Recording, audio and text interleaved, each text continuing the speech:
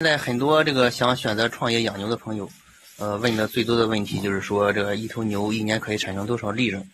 毕竟我们养牛最终目的，嗯，还是为了挣钱。嗯，我一开始也是这样，但是现在和你说，这个一头牛一年可以产生多少利润，呃，只能作为一个参考。呃，毕竟同行不同利，还有这个牛行情一直在变，这个饲养成本，嗯，也一直在变。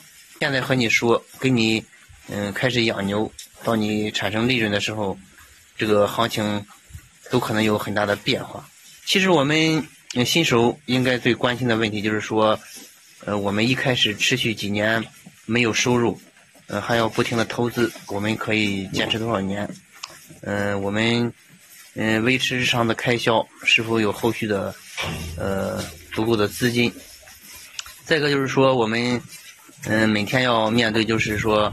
拉草，呃，扎草喂牛，还有就是，呃，除粪，嗯，整天面对这个，嗯，枯燥乏味的工作，我们是否能够坚持下去？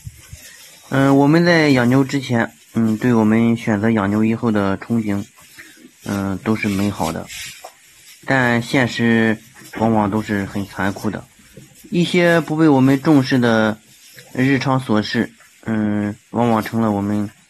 养牛过程中最大的绊脚石，嗯，所以说我们要谨慎入行，一旦选择了，嗯，咬着牙也。